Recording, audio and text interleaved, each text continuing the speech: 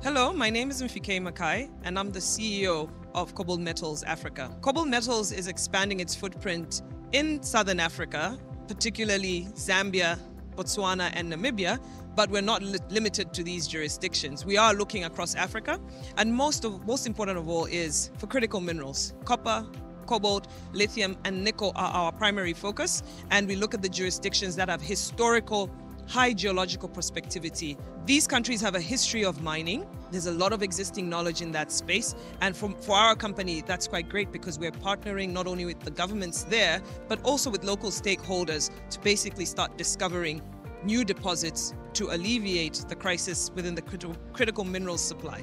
So the Mingomba project in Zambia, the deal was closed in December 2022. We have spent over $200 million in exploration to basically define the resource, define and delineate the resource, the copper resource there, the activities that will lead up to the mine build with hopefully production in the early 2030s include building the surface and underground infrastructure which will support uh, mine production. So that's your process plants, your shafts, your dewatering infrastructure, your infrastructure around the existing Copperbelt town, which is Chililabombwe. There are existing mines there, and that's that means we're along the line of rail, and that is great for the project. So most of that expenditure is going to the capex of the project to make sure that in, within the next decade, we have an operating and producing asset. So there's going to be a lot of construction activity. There's going to be a lot of economic development around construction that will lead us into mine production.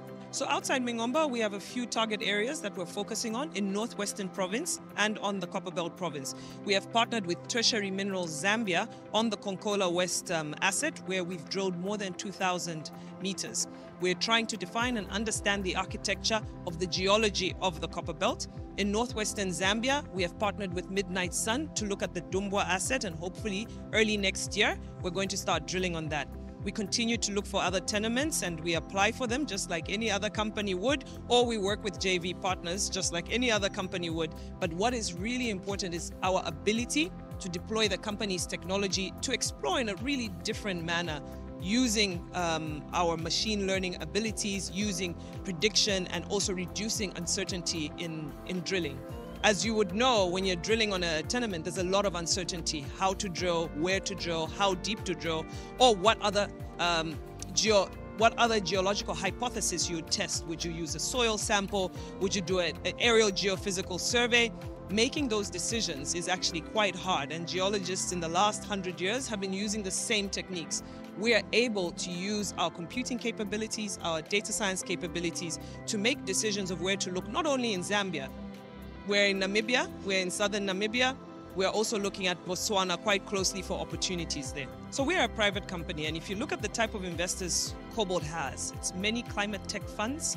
We have quite a variety of innovative, strategic, and technology companies invested in us. And they're really invested in our capabilities, our technology capabilities. And that takes a long term view. For many companies, raising capital is quite difficult. We're tapping into capital markets that have not traditionally been involved in mining.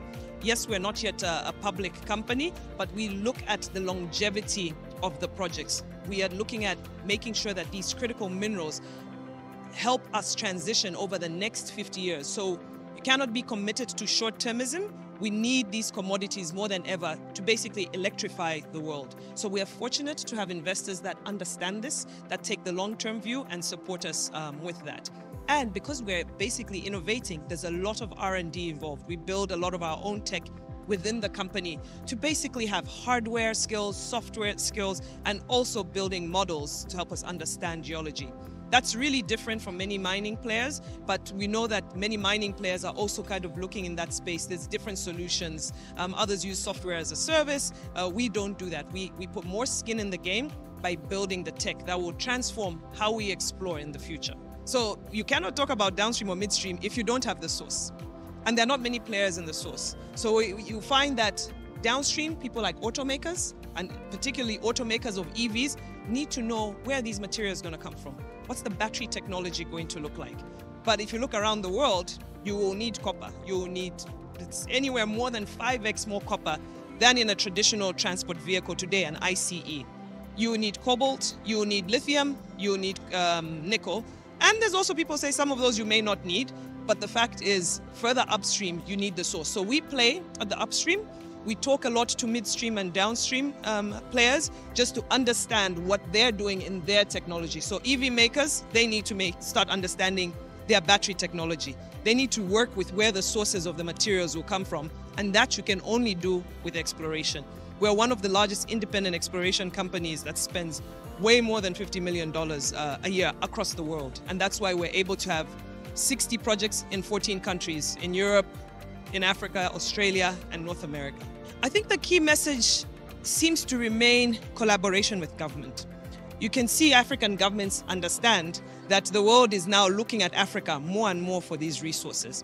But the governments also need, uh, need to understand what is going to happen with our countries to industrialize.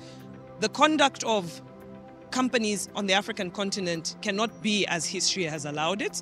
We need to be more involved, more responsible, and also consider the fact that the youngest workforce in the world will be out of the African continent. So the key takeaways I think that I've picked from here is more collaboration, but transparency in, in dialogue. Intentions by companies must also be clear. For KoBold, our, all our values speak to safety, anti-corruption, anti-discrimination, community support, environmental protection and integrity.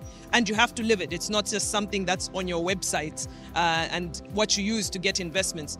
The leadership culture of these companies must live it. And we, I'm proud to say we do that, at least for the KoBold Africa team and the KoBold uh, rest of the world team, we live by those values.